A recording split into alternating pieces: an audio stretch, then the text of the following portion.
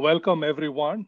It's really nice to see such a large turnout on a holiday. Thank you all for coming. And thank you in particular to our guests, Fiona Harrison and Rob Kennicutt, for agreeing to come and talk to us about this uh, you know, important report that they have just written. So I'm going to keep my introduction short. So Fiona Harrison is the Harold Rosen Professor of Physics at Caltech and Chair of the Division of Physics, Mathematics, and Astronomy. I think everybody knows she's the PI of NuSTAR. She has won many prizes. I'll just mention the Bruno Rossi Prize, Hans Bethe Prize. She's a member of the National Academy of Sciences. Rob Kennicutt, he's professor at the University of Arizona and also at Texas A&M. Before that, he was Plumian professor at the Institute of Astronomy in Cambridge. And even before that, he was a professor in Arizona. In fact, we were co-faculty so many years ago, it's hard to remember. But yeah, many decades ago, he and I were on the faculty in Arizona. So Rob is a, you know, a specialist expert on galaxies, star formation. Uh, he's again won, of course, many prizes. Specifically, I'll mention the Dannie Heineman Prize, the Gruber Prize in Cosmology. He's a member of the National Academy and a fellow of the Royal Society. Now, of course, they're great astrophysicists, both of them, but they've also done this great service to our community, the astronomy field, by co-chairing the decadal survey on astronomy and astrophysics 2020. And as I'm sure everybody knows, that report was finally released last week, exactly a week ago. Uh, and probably many of us, I mean, I did, and many of you were also there for the webinar.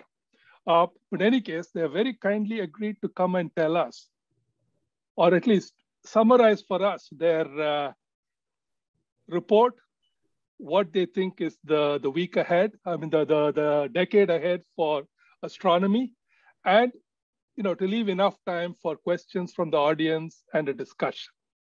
So the report itself, if you haven't read it, it's called Pathways to Discovery in Astronomy and Astrophysics for the 2020s. So Fiona, Rob, take it away. And uh, yeah, we'll say roughly half an hour for your speaking, and then we'll try to keep about half an hour for discussion. It's a pleasure to, to be joining you. It'd be nicer in person, but um, we're now, Rob and I, quite used to Zoom. We've spent most of the last few years in Zoom meetings. And, you know, as Ramesh said, we're going to try to just really skim over a few highlights, uh, assuming that you either heard the webinar or have looked at the report to try to leave significant time, you know, for discussion and to get people's thoughts. Uh, so, you know, a lot of people worked on this survey. Um, as you know, there were science panels, six science panels, six program panels, state of the profession panel. Uh, but we want to sort of give a special shout out to our steering committee members and the NAS staff because the heavy lifting for us really started right at the time of the pandemic shutdown, meaning everybody was juggling their homeschooling and lack of daycare and you know learning to lecture on zoom. So that uh, definitely slowed things down but we we tried hard not to compromise the quality of the product. And so really um, a lot of tremendous service by many people in the community. Rob do you want to talk to the report structure? Yeah just a little bit. This i think there are only two slides here that weren't in the briefing. So for the most part, this is going to be an abstract of what we presented last week, but thought it might be useful just to take a pause before we get into that. Uh, to if you haven't uh, tried to digest the whole report, just a few pointers uh, to content would be particularly uh, relevant to you. Um, the whole thing, I forget, in the single space PDF, I think it's 700 plus. It's a monster. Part of the reason is this time uh, we've bundled all of the panel reports, all 13 of them, with the main volume. This was done deliberately. Um, the uh, because we think you know th- there there were vital inputs to the survey. Those are the groups that digested all the white papers and reported up to us. In the past, they've been bound in a separate book, usually with much lo- longer reports. And uh, some, I know at the beginning of the survey, I went around the hallways trying to find a colleague who had ever read them all. And it was, you know, I had to ask a lot of people before I found anybody. So uh, we're hoping that they'll get more play. They're much more compact. They're about 20 pages, most of them a piece. A state of the profession, uh, a bit longer, but because there's a lot more to write about in that report. Um, so, in particular, uh, sort of addressing uh, junior researchers maybe. And if you're just starting grad school you know you're still unsure about what you want to work on you're looking for a thesis topic you know picking the science chapters in the areas you're interested in is something i highly uh, recommend. And obviously uh, the the state of the profession and enabling foundation reports those are panels that were charged for the first time for this survey. Uh, they prioritize not only the decade ahead, but of course, you know, everything that's happened, uh, the state up to, uh, before then. And then uh, uh, obviously the program panels for how the sausage was made. The other thing, the only other remark I'll make before we go on, if you, uh, time is limited and you want a capsule summary of almost all the high points, look to chapter one here, Pathways from Foundations to Frontiers. Um, the uh, the executive summary is a, just a agency uh, academy required 3000 word summary. It's very brief but the pathways document we really tried to make self-contained. And uh, it, it, you know together with what we tell you today will give you a good overview of what we did. Uh, back to you fiona. Yeah so this captures the organization of the report. And you know what we tried to do throughout uh, in thinking about the program that we were recommending in organizing our principles, our guiding principles, and then coming up with the program really was to emphasize uh, the, fun- the essential function of building foundations, the things, the tools that astronomers need, uh, emphasizing programs that sustain and balance science. So these are things that can be executed uh, more regularly and rapidly, uh, keeping progress going and also responding to new discoveries, which we're sure to have in the next decade.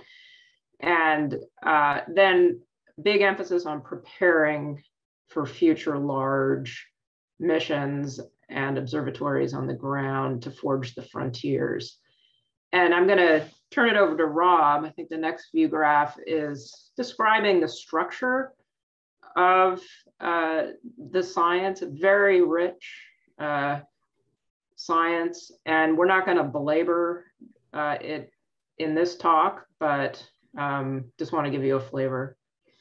Yeah, in terms of, uh, so we're, we're just to keep the time, we're just going to talk about science with one slide, but this is a close to half of the committee work for the survey is to set the science vision. And that all happened first. That most of that happened before COVID hit, uh, with the idea that science drive uh, all of the programmatic priorities that followed. This began with a huge number of community white papers, 573. Um, they were all assigned to uh, one of six or more, one or more of six science panels. Uh, you saw them in the table of contents, topically based, and every one was read and discussed individually or as a you know part of a group in a in a panel meeting. Uh, and from then on, it was a process of distillation. Uh, so the the panels, their reports, roughly 20 single size uh, space pages apiece, try to cover the breadth of their subject areas uh, and not leave a major stone unturned.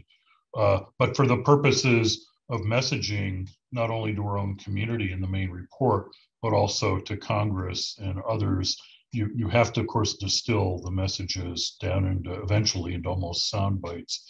Uh, so we asked each panel to come back with four key science frontier questions in their area and one a discovery area.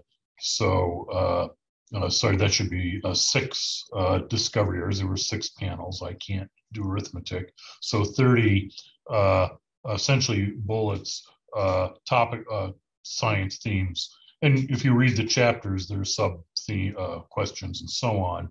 Then there were two further distillations. In the main report, we found that all 30 of those priorities could be fit very nicely under one of three umbrella themes worlds and suns in context, new messengers and new physics, and cosmic ecosystems. And chapter two of the report develops those themes, uh, sort of written in a with a sort of a grad student again, you know, audience in mind.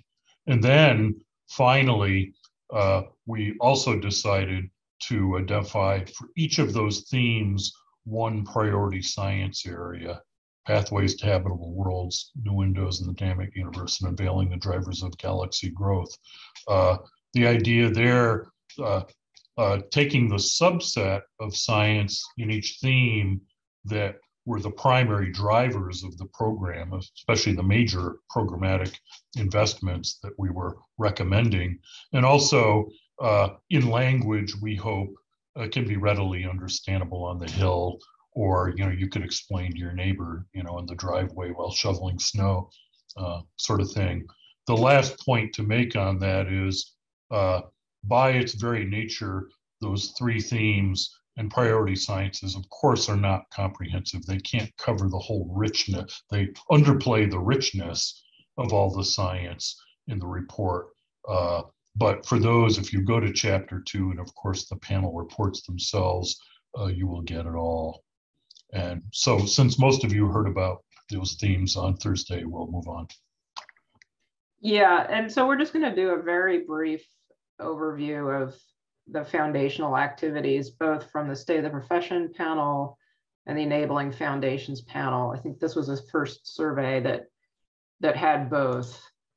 And you know, more than half of our recommendations are in these foundational areas. Um, Rob will remember the number. I always forget, but at any rate, uh, so we're this very brief discussion doesn't do them justice. But from the state of the profession, these are the broad areas where we made recommendations. The first being the need to, for the agencies to collect and release demographic data.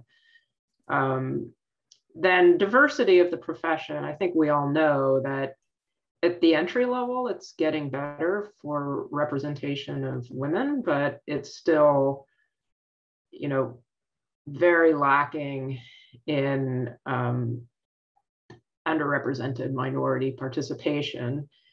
Uh, but even gender uh, balance at the higher levels uh, is still pretty pretty lacking, uh, especially in project and mission teams.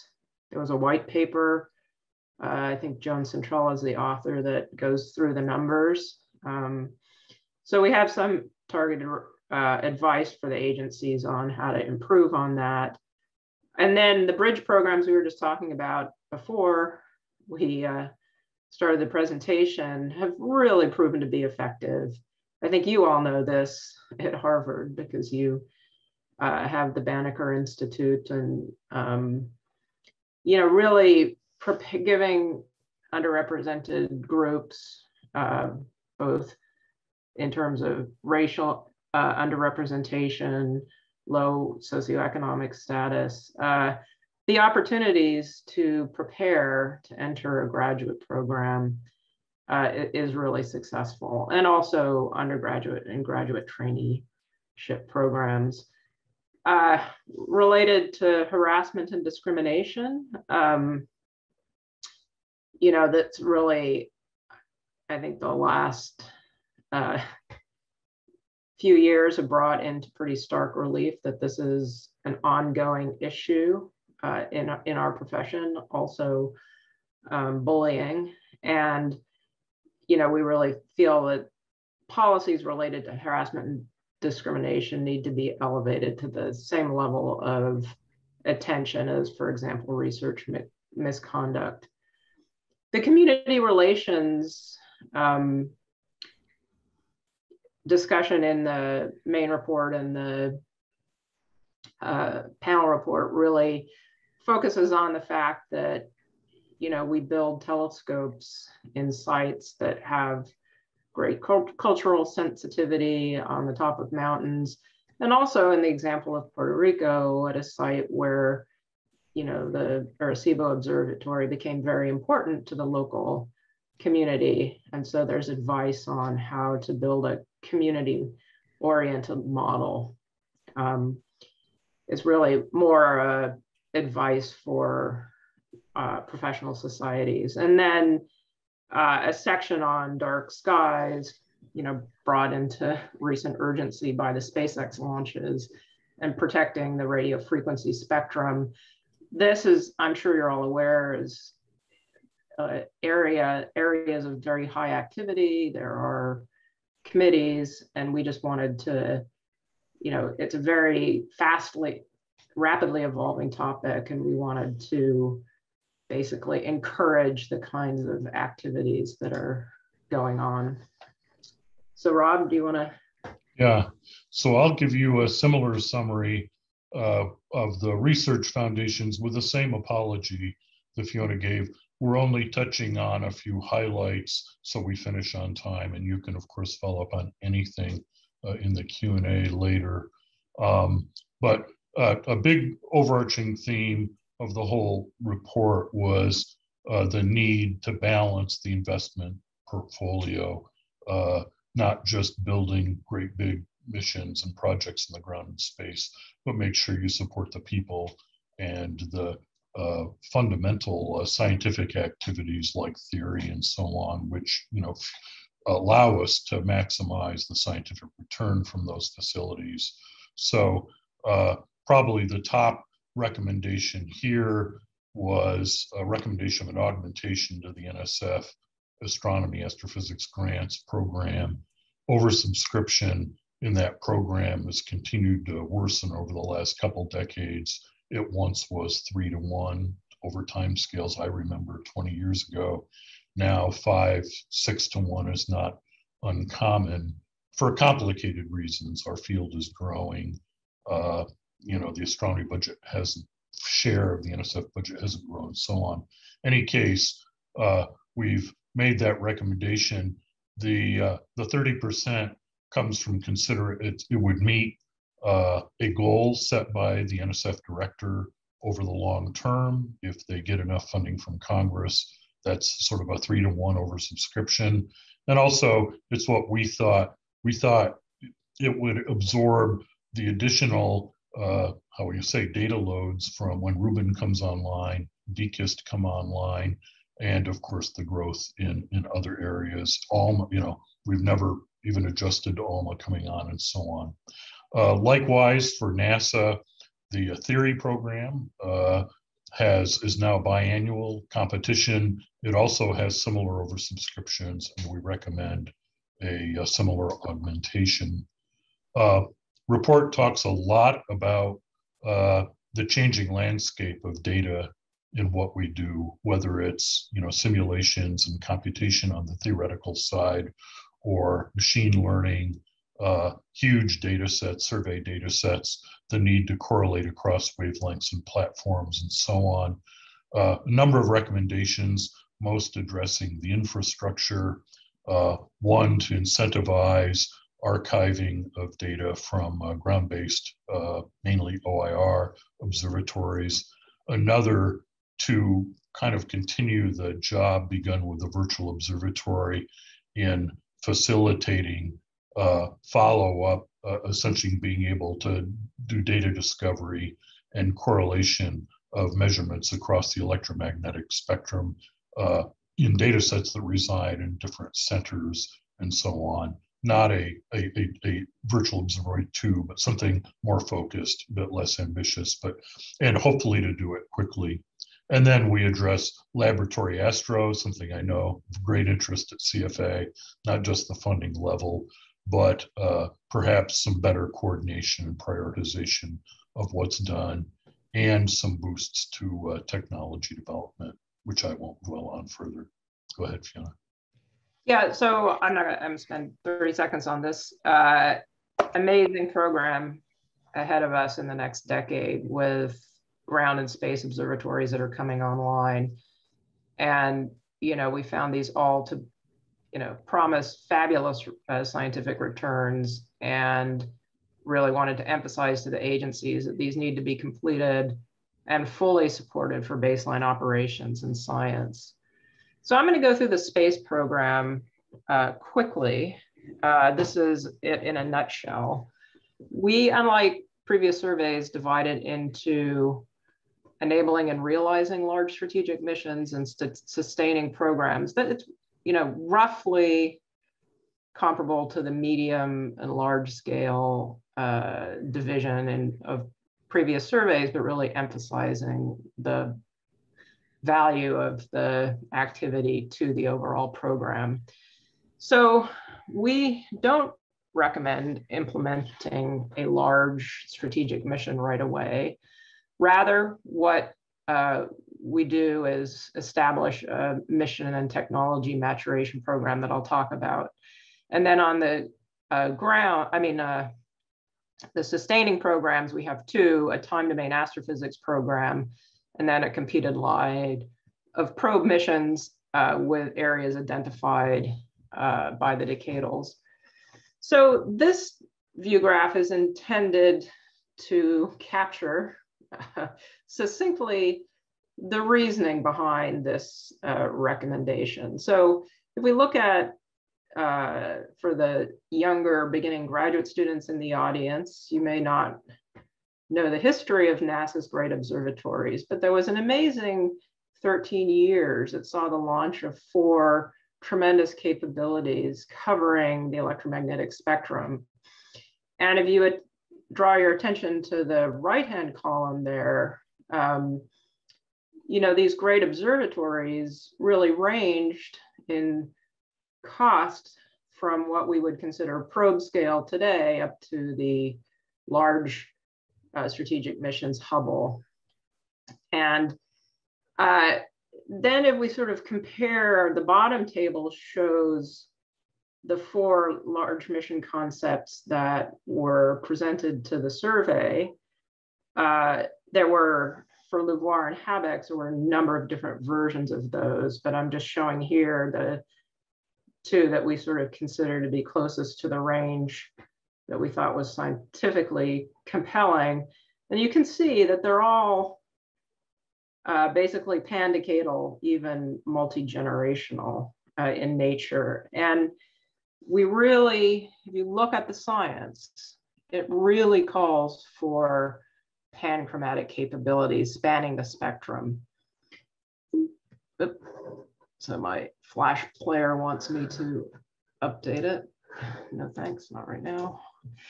Uh, so that was what led to the idea that you really need to optimize, come up with a different strategy for optimizing the cadence and scale of strategic missions.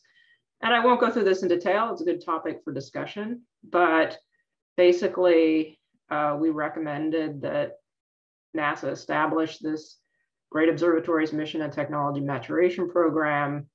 And it's really important to understand this is not just technology development. This is significant investment in the science teams, in the development of the architectures and the development of the technologies, and not just development, development and demonstration at the needed level. Uh, and I think given the time, we have five minutes, to, we're gonna stay at half an hour. I'm not gonna go through this. If you want me to come back uh, and explain in more detail uh, the structure of this program, I'd be happy to. But uh, for maturation, the highest priority is uh, IROUV large telescope optimized for observing habitable planets and general astrophysics.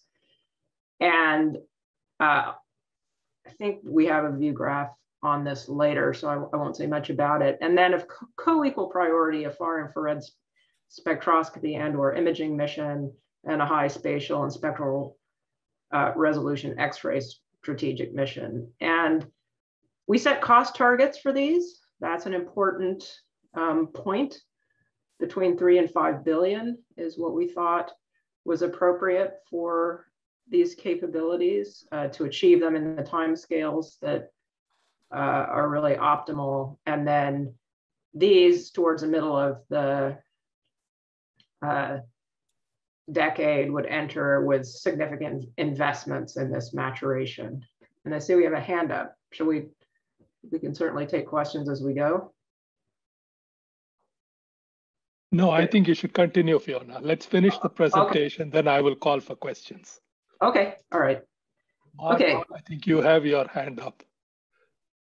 Yeah, so I'll just quickly say um, we didn't pick one of the LUVOIR concepts or one of the HabEx concepts because we felt the sweet spot was really in between. And so we recommended a uh, six meter off axis inscribed diameter is roughly, that's the target, sets the target for the collecting area and the scope with contrast of uh, you know, 10 to the 10. And this would provide, in our estimation, a robust uh, sample of exoplanets. And this, you know, the scientific goals, this would be fantastic for general astrophysics as well as exoplanets and has a potential to change the way that we view our place in the universe. And NASA really is the only space agency in the world that can do this. Quickly, the uh, Sustaining Time Domain Astrophysics program is envisioned to be a set of smaller missions that are competed. However, based on advice from a standing committee on what the most crucial capabilities are so that we can continue this golden age of time domain that we're in now and capitalize on upgrades of, of LIGO, Virgo uh, coming online of Rubin. And then the second sustaining area is uh, probe missions. And the areas that we felt were the most compelling uh, this decade for um, a probe are a far IR imaging or spectroscopy probe that um, I think we felt that worldwide a huge void was left when ESA decided not to continue with the Spica mission. And uh, because Athena will be such a tremendous capability coming online with uh, large area, moderate resolution spectroscopy, that um, a mission to uh, complement this uh, is, is very compelling. And, and we were thinking broadly here, very broadly. It needn't be high spectral resolution, uh, grading uh, resolution, but it could be certainly be an obvious uh, idea. And uh, or timing or bandpass uh, wouldn't necessarily have to launch commensurate with at the same time as Athena. Right, Rob, I'll let you go through the ground. Yeah, so we're going to wrap up by uh, with a summary of the ground, a very quick summary of the ground. Um, there were three major research uh, equipment facility uh, proposals out of astronomy that uh, came uh, to the survey. Uh, and we would like to see actually all three of those happen, but with a priority and cadence dictated by urgency and readiness of the projects. The top recommendation is that the Fiona, could you just skip? I, I forget which deck we're on because we have so many. Oh, okay. Yeah, good. Uh, okay. And one more, uh, just sorry, audience, thank you. So if you go okay. backwards, I know what to talk yeah. through. Yeah. So uh, the um, uh, so recommend NSF if possible uh, by of order a quarter share in both the Giant Magellan Telescope, which is of course real local interest, and um, the uh, 30 meter telescope. Uh, the scientific cases are compelling. Uh, what they, they can address most of the science, the user communities are enormous.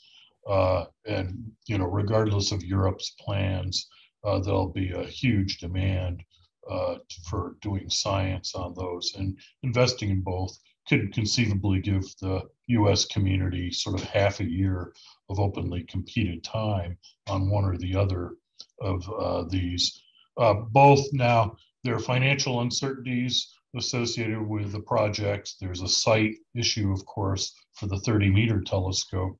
Those would have to be sorted before, but we'd very much like to see that happen uh, sort of as quickly as uh, the proposals uh, can, you know, essentially the teams meet our decision rules and an, an independent committee can uh, perform a gateway review. Um, I'm going to skip the third and then do CMB third, uh, sort of out of order. NGVLA is just as compelling, right? Revolutionary order of magnitude gains in discovery capability, resolution, sensitivity would supplant both Jansky VLA and VLBA. Uh, again, addresses nearly every science priority of the survey. Uh, so we would like to see it happen but can't do everything at once, of course. Uh, there, we recommend something very analogous to the maturation study that Fiona talked about for the space observatories. Uh, first, uh, do a prototype, get, do some antenna prototyping, also uh, review the scope against the science uh, uh, to see, you know, whether there, it should be descoped or built at full. Have a gateway review sometime le- uh, mid to latter half of the decade, and uh, and then hopefully go ahead based on the recommendations of that review. So those are two major facilities. CMBS4 is different. It's an experiment uh, to detect B mode polarization from the ground, which would be, you know, evidence for cosmic inflation, you know, primordial gravitational waves, potentially a Nobel Prize there, but also the southern, they would make uh, map half the southern sky between a millimeter and a centimeter. And as with Planck before from space, those data have tremendous value uh, for just virtually every uh, field of astrophysics. And so on those bases, uh, we'd like to see the NSF and DOE in a 40-60 partnership is what was proposed. Go ahead with that. Um, so those are the priorities. There's only one sustaining program in the survey, and that is to double down on a mid-scale. Uh, and mid-scale was recommended in 2010. This covers projects from a few million dollars funded out of the astronomy program up to 120, 130 funded in NSF wide mid-scale. We received lots of uh, uh, very exciting uh, proposals there. We recommend they be competed in strategic areas that we could talk about in the Q&A if you like. And finally, we've uh, uh, given endorsements uh, for two projects whose prioritization would have to be set in various levels of physics reviews, um, technology development for future gravitational wave observatories, and an upgrade to the IceCube uh, Neutrino Observatory at the South Pole.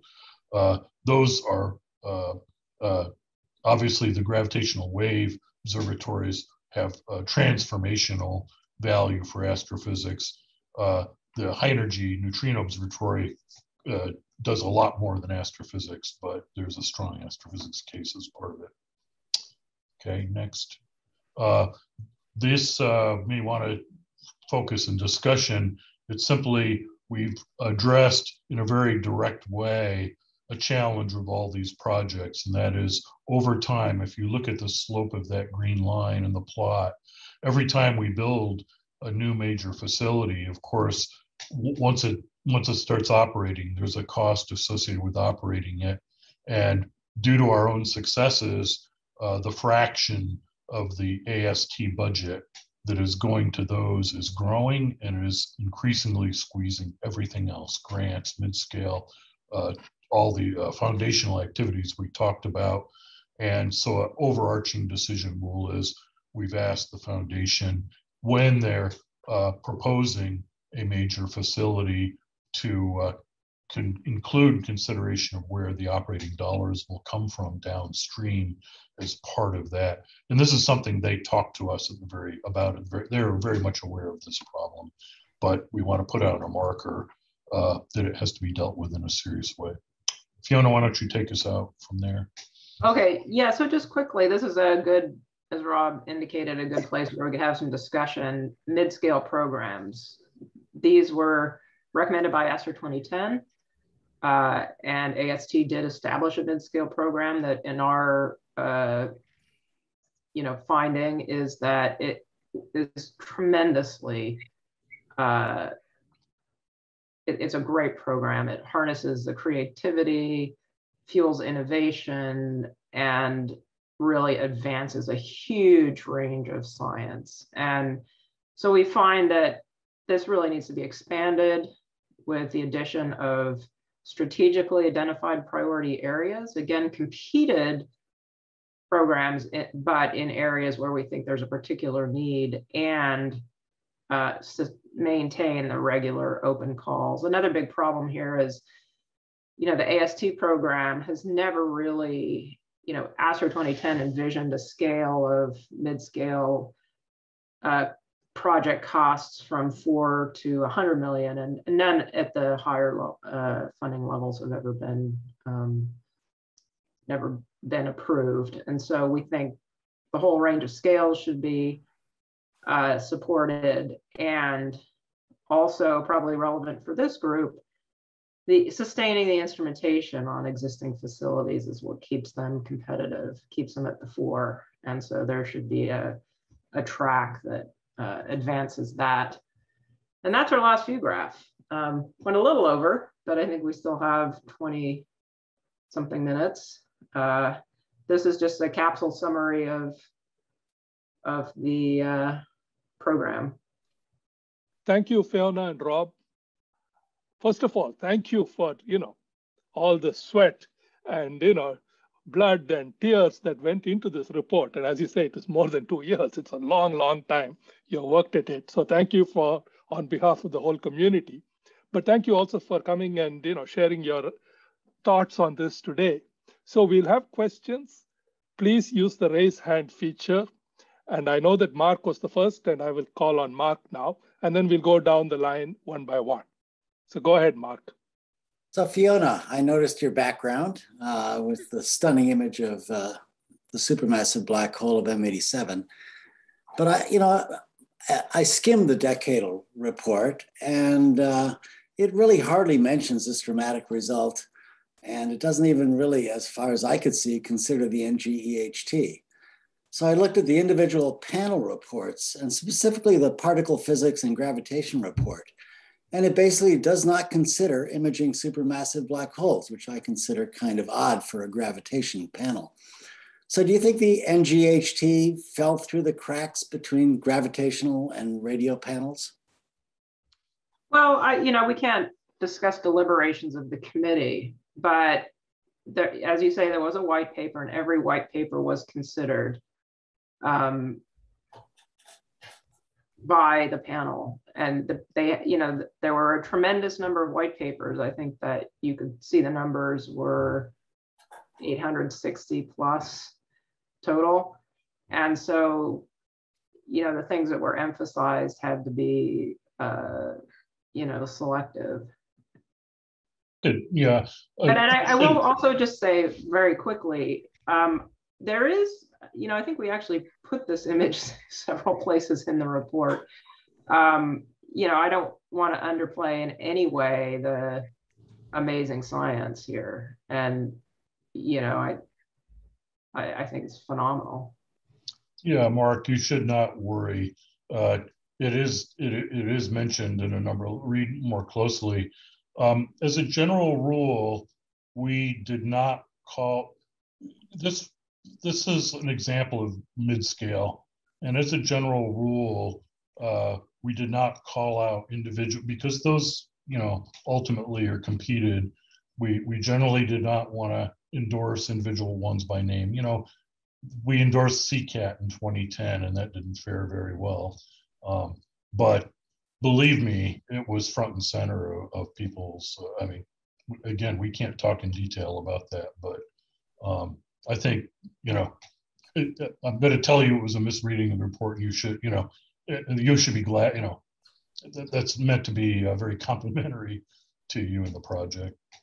Yeah, and uh, let me just second, you know, I should have said that first. We didn't name by name any mid-scale. So any project between four and 120 million, we decided not to name, just the same way you don't call out specific explorer missions in space. Um, but if you look, there is a there is a priority area in radio instrumentation that would fit. It would fit into uh, very nicely. Okay, so Charles. So I'm actually going to ask a, a, a, structural question. Actually, is ten years the right cadence for this process? Mm. You, you know, do you want to do it less frequently or more frequently, or is ten years just just about right? Yeah, that's a just, go ahead, Fiona. Go ahead. I was going to ask. We just well, I, I was going to say that's a great question. You know, when the survey was being instigated, I think NASA was pushing, you know, let's put it off, and NF, NSF was saying no, we need it now because we want to have compelling projects to, to sustain our MREFC program uh, funding line.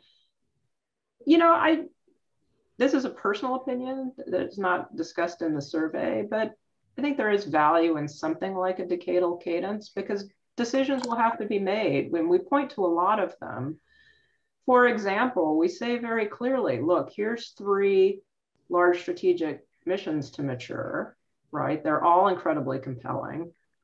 Here are the targets. And it may be by the end of the decade that the UVOIR large mission has not matured the way uh, envisioned, or that it is going to cost double when you look at it in the detail. In which case, we say very clearly that's why you need to invest a significant amount in the other two, because the next decadal may then have it have input on which should actually go first. So that would be a, a specific, you know, I'm not saying that would, I hope that doesn't happen, but if it did happen, then they might say, okay, let's let's advance and implement one of these other two while we continue to get the technology and mission for the you know large UVOIR thing under our belt. So that's the kind of cadence we're talking about for these decisions on the large strategic missions. I don't know, Rob, if you have a thought on the ground. Yeah, well, I'll just I think answering it in the general is is fine. The the uh, we tried to take real care not to tie the hands if you stayed with a 10 year cadence, uh, to have decision points such that uh, gateways, such that uh, the next decadal will have a free hand. Remember, there's always the mid decadal. And I think, if anything, in our planning, uh, scenarios we see, that they may have a greater role in the past. I don't think you want to ever go longer than 10, partly for the reasons Fiona gave. But even if the missions, the big things, especially in space, take 20 years, the landscape we work in, you know, uh, the political landscape, the COVID landscape, those change much more rapidly. And uh, think, you know, you could have a whole different world in, in, in 10 years. And that was the challenge for us, right? Our NSF budgets have an optimistic progression, you know, that was motivated by thoughts of doubling the budget, right? It's the talk in Congress over a decade with almost sort of inflation only as the lower bound. And I think if you stretch things much longer than that, you, you know, you could really uh, find yourself down some wrong paths. You would want some, you know, mid-course corrections. And of course, in the middle of the last decade, gravitational waves were discovered, which were a major feature in this report. How do you respond to that? How do you uh, advance that? And just a few more words about this maturation program. I mean, the sequence that, that is in the report really assumes about a decadal cadence because, you know, we're still envisioning NASA prepare the large mission concepts the way they did. The decadal sort of say, okay, these are the ones that are we really like that sh should have significant investment for maturation. Then the next decade, or you know, that doesn't work out, you know, some special review would then say, okay, yeah, th this is ready to to advance to be adopted by the agencies. by the agency. And new things can come in in the next decadal. You know, NASA will do new large mission concept studies, I'm sure. You know, maybe we discover B mode polarization and they want to do a big, you know, somebody wants to do a big mission to do that. Um, those come in and then they would, if they're compelling, they would enter the maturation program just like the ones did this this decade. It's a great question though. Yeah. yeah. Thank you. So next, I think Gary. Yes. Uh, uh, hi, hi, Fiona, and hi, Rob. Uh, just two points of clarification. I noticed that you mentioned uh, both the uh, far infrared and X-ray missions uh, in the context of strategic missions with $40 million of technology development, but also under the probe line. And I'm wondering whether you envision or are recommending that both areas proceed as potential strategic and probe missions, uh, or are you more specific uh, regarding how the probe and the strategic missions would play? And, and I had a, a, a second question.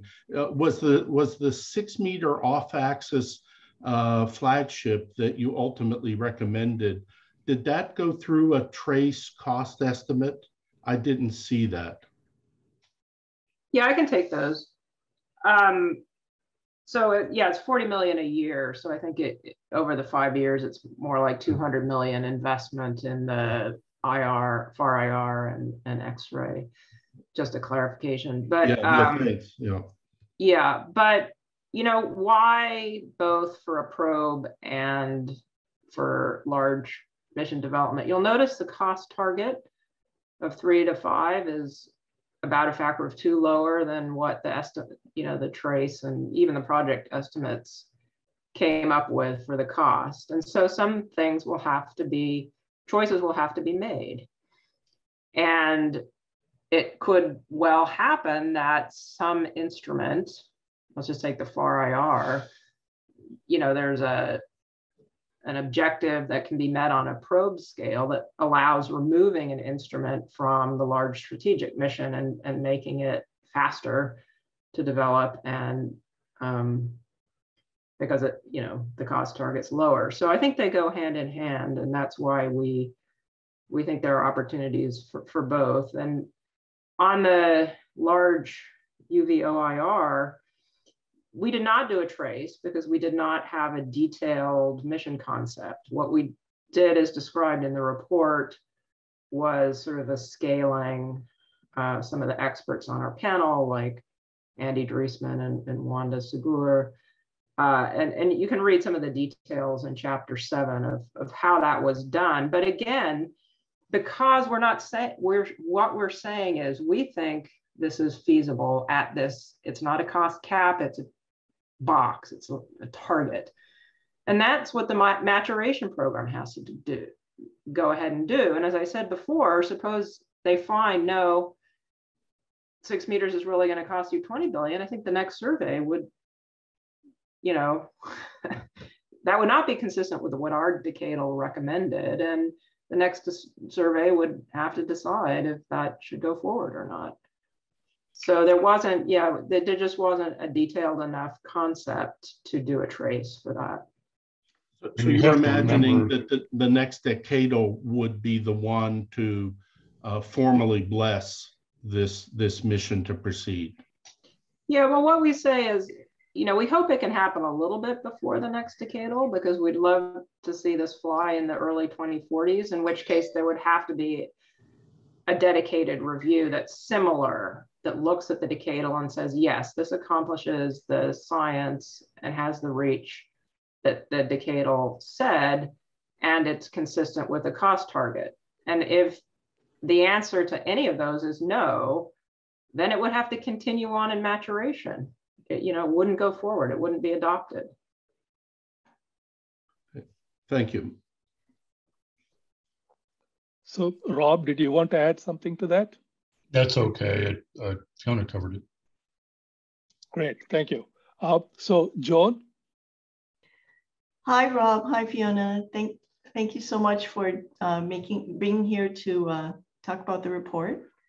Um, I wanted to ask you a question about the pyramid that you started off the discussion today, uh, which shows the relationship of all the discovery resources in that lovely pyramid shape and has sort of like the foundational and infrastructure resources at the bottom and rising up to the sort of more aspirational elements. I was wondering how you think about the, um, do, do you, how you think about the pyramid in terms of, um, do you think of it as we need to ensure that the lower elements, the foundations are healthy and well supported before ascending to the top? Or more specifically, if we were in a really funding restricted kind of environment, would we make choices using this structure and ensure that the base is well supported before going to the top? Or how do you look at it? Rob, do you want to start on that one? Yeah, I was smiling because we we called it a pyramid ourselves, but I think the artist may have been thinking of a path, a sidewalk, a pathway. You know, so in terms of how you look at it, um, I think uh, it's a little bit of it's something in between, Joan. The uh, the example we showed the example of the MREFC recommendation that before you build uh, some very large new facility, uh, you have to figure out where the dollars, probably 10 years down the road, right, will, will come uh, to, uh, to, to, to build it. And you could, if you take that literally, it says don't build anything new until, you know, that is a deliberate effort to stop this secular free, uh, squeeze on those foundational programs. So we're trying to issue very strong uh, statements of principle. However, um, we I think the way you phrased the question sounded like what we didn't want to do is tie the hands of the agencies and say until you do every one of these things, right? Check all the list. You know, it isn't as if gray takes precedence over the things above it because especially for things like data infrastructure, some of the state of the profession things where often money comes from sources other than the base astronomy budget and so on. You have to give agencies some flexibility to respond to the year to year realities, not only of where the money comes from, but whether they have to deal with a continuing resolution or so on. So, at least my answer, and Fiona may want to add to this, is yeah, there are very strong statements about the collective investment in foundational elements, but not to be taken uh, too prescriptively. Um, otherwise, you know, they they will uh, not be able to function. I don't. Yeah, I, I may have evaded the question a bit, but that was my attempt. Yeah, I think just briefly, we we state several times in the report that all of these are important for you know advancing the science and so we didn't say we prioritize foundations above you know future uh, large missions or observatories or vice versa right and we tried to make that was part of the reason for the phased program of development and decision a decision point and then implementation is that decision point, if things go poorly with budgets, that decision point can get moved out, but we're still making progress. Um, so I think we felt really these are all essential. Um, and but we certainly emphasize that without the base, you know, that's the first step in the pathway is the foundations. Yeah, maybe in terms of specific, this isn't necessarily crippling in the presentation of the ELT program with the shares that were the the NSF bill annual bill for uh, their share of operations I think was 32 million or maybe 30 you know in that range compared to a current budget of about 300 that's less than NOIR Lab uh, less than ALMA and so on uh, you know, you consider the time you have to find support for that. Uh, CMBS4 would be much less than that. Uh, NGVLA is a real challenge. That's I think the estimate was 132 million dollars a year. Uh, if you get a partner to pay for a quarter, that reduces it. Of course, if you close, then uh, the VLA and VLBA you save some more, but you're still get, you're talking about you know a lot of money, you know, huge uh. So it it depends, uh, you know, on the project. But I don't know. Does that answer? Does that kind of get to the gist of the question, Joan? I hope so. Yeah, definitely clarifies. Um, I, I just I think maybe people might wonder about about that, and um, hearing your thoughts uh, really gives it more clarity for me. Thanks so much.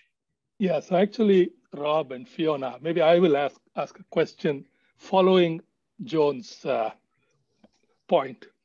So you know you have come up with your recommendations using, I would say, kind of optimistic estimates of what the budget might do. What the agencies told you, you know, this is what we hope can happen. Mm-hmm. So one has to wonder what happens if the money doesn't flow as freely as we hope. And especially if some of these foundational things turn out to be harder to implement than we expected, and they are so important, we have to do it, and there is less money for the upper steps of your ladder. Uh, and specifically, I would say the ELTs, right? Your report says we should do both GMT and TMT. NSF should put in so much money, let everything uh, work, everything bloom, etc. But if money is tight, a time may come when one may have to choose. And your report has been very careful not to rank GMT and TMT. At least the parts I read, it looked like you're saying, look, just do both of them uh, provided they satisfy these minimum requirements. So can you say a little bit about your thinking on that? Because there's, you know, it's a, it's it's a it's a big investment on top of all the other things, and your report could have been a place where something could have been, you know, the tie could have been broken in some sense. You did have decided not to do it. If you have any comments on that. You want me to take it, Fiona? Well, I'll, I'll just give a very one sentence. If you read the end of that section with the decision rules, there are broad guidelines that say, you know, there's a review that's going to happen. And if, I mean, okay, if one of the projects fails to meet the criteria, then it's clear, right? It don't doesn't go forward. They both meet the criteria and that NSF says well, it turns out we can only get half the money, then there's a there's guiding principles for how that review would would balance things. But you know, again, we want to urge the NSF to make every effort. And Rob, I'll let you. I'll turn it over to you. You know, just to finish that, and there is a sentence or two that says, you know, take into account that that a 30 meter telescope has you know, a bigger aperture, obviously more light collecting, higher diffraction, you know, better diffraction limited performance. But it, but it depends on what's the price, right? Uh, you know, of, of the relative projects. So yeah, so those words are in there, but they, you have to read pretty deep into the report. So yes, we do provide some guidance. Overall, Ramesh, remember that the facility construction money comes from a completely different pot. MREFC is an NSF wide program. It's not a tax on uh, the rest of the astronomy budget. So, is you know, to build it is in that sense, if you get the project approved, is quote free. But 10 years down the road, seven years down the road, you've got to come up with that. What if it's two telescopes, 25%, that 30 million, whatever it is a year. And we have a recommendation that NSF uh, go back to uh, they should embrace senior reviews, essentially portfolio reviews, as a way, uh, one of many mechanisms to try to uh, uh you know figure out how to balance it, its investments along the way. So I don't think they're quite as much in conflict as you fear. Uh, certainly not in the short term, but we don't want them to punt the can down the road and just say, "Oh, in ten years we'll find the money somewhere." That, that's when you get in trouble. Yeah, I mean, part of what you know NSF would like to do, it's this MREFC is a line in the congressional budget that goes up or down as big ships get built for oceanography or telescopes get built for astronomy. They want they want to grow that. They want to do more facilities. At least this is what they said to us, and they want to motivate that line going up. But again, as Rob emphasizes, it's not fungible with grants and other things, just because it's a it's a line for construction. Yeah, no, that's great. Thank you. Um, so we are past the hour, but you know, I think the discussion is quite interesting. If people are willing to wait, and if our uh, visitors are willing to stay on, let's continue with a few more questions, if that is okay. Yeah, and if people need to leave, you're not going to yeah. insult Fiona and me. We understand. Right. Yep. Uh, so I think Nelson Caldwell has his hand up. Yes. Hi. Um, change gears here a little bit. Uh, I was interested to see that you you're emphasizing uh, for transmitting these plans to graduate students. And uh, I don't know how new that is, but uh, given the length of time for some of these projects, you might also think about elementary schools, of course. But anyway, I, my, my question is, uh, are there concrete plans for distributing some of the plans for these, you know, terrific missions to incoming graduate students and undergraduate schools in some, you know, some kind of brochure fashion that the faculty can distribute? And, uh, you know, is there is there actually a program to do that? Thanks. Yeah, the, the NAS usually does produce, you know, it takes them a while, but they do produce a sort of non-expert guide to the survey. Um, they did that for Astro 2010. Um, and so that that is part of their standard practice. Now, does it tar? I think it may target more uh, a lay audience than a incoming graduate student, but yeah, they're um, they're I think they're going to end up a kind of pamphlet type of thing, but you know that's already thinking of our generation, Nelson, right? For yeah. that generation, you target electronically. Yes, exactly. So that website you can go to now, you know, with the pull downs is one step and uh, there's certainly people thinking about uh, other forms of so you know social media and such as well but uh, better you know they know the details not something we focused on a lot recently thanks so gary i notice your hand is still up do you have another question or you just forgot to lower oh uh, no uh, i just didn't take it down sorry about that okay fine then let me call on pepe You have to unmute yourself. Hi, yes. Hi, Fiona, Rob. Uh, I was, of course, very pleased that you uh, uh, highlighted as your number one priority the, the new great observatories and, and getting the pre-phase A money to make sure we don't get into a uh, JWST situation again where the, the, the cost just keeps growing. Um, so the, the you said there would be cost caps for the, the far infrared and X-ray mission, but then I was a little perturbed when you said that the figure for uh, the Planet Finder UV X-ray uh, UV mission was uh, a target, not a cap. So oh, I, misspoke. I'm I sorry. One, so yeah. one thing was why is it different, right? And the other one is how can we be assured that after spending, I think you said eight hundred million dollars for over six years, that it will then be uh, not too big to fail, especially if we haven't done any preliminary work, as it seems to be indicated, on the other two uh, new great observatories. Well, so I think there's, I'm sorry if I misspoke. The report is quite clear for all of them, it's a cost target. So the cost target for X-ray and FAR IR is between three and five, does that mean five and a half isn't okay? Yeah, I mean, that's consistent with a target. Um, so it's supposed to be the same for all of them.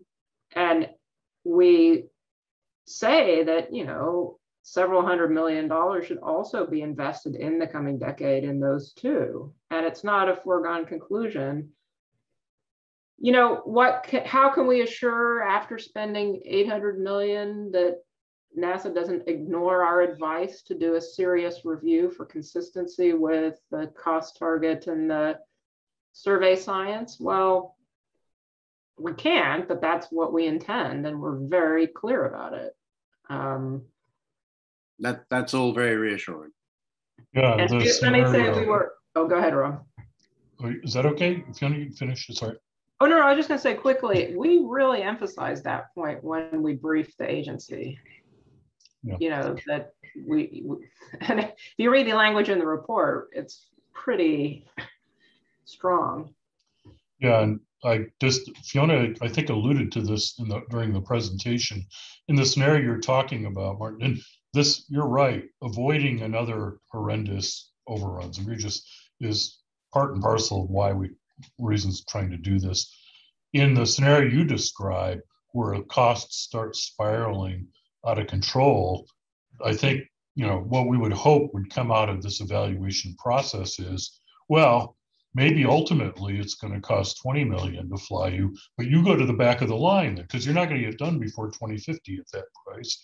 And we're going to fly a couple other large strategic missions in front of you and that's the stick that kind of goes. Uh, now whether that plays out of course you know through all the politics and everything of course we can't you know prescribe but that that if you're asking about intent that's sort of Excellent. Yeah. Well, and your own panel, right, came up with not exactly this construct, but struggled with the same thing, right? Absolutely. Uh, you got to do both. And if you do them the way that they were put in front of us, it's, you know, 100 years. it's 20 years per, right? So, you know, that that's not that's not a good strategy and you so you had a particular solution in in in your panel report. And we we just we sort of adopted a general concept just said well but let's not decide which science should be done. We just want far infrared and x-ray and not 40 years from now that's all great. Yeah, absolutely. By the way, you you chose six meters, but I don't know if one of the reasons might have been the rapid development of Starship, which has an eight meter fairing, so you could actually fly a monolithic uh, six meter telescope. That wasn't uh, in the report, but um, interesting to to chat about it sometime. uh huh. Okay, great. Thank you very much. Okay, I do not see any other hands raised, but we still have almost 100 people still here. So thank you very much, Fiona and Rob. It, this is a, you know, this is a big event for us. Thank you for coming here and thank you to everyone who showed up, even though today is a holiday. Um, so I think we'll close this session at this point. So bye, everyone.